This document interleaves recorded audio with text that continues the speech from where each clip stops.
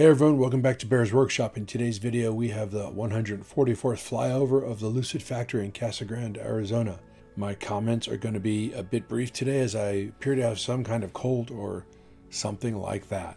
We can see a large number of cars around the site waiting for delivery. Paving in the east side parking lot area is continuing as well as striping of some of the parking lots. Construction and Lucid employee parking lot, both very full, so a lot of people working, getting it done. At the body in white building, you can see that is now connecting to the original building with steel now, and all of that is going to be connected very soon.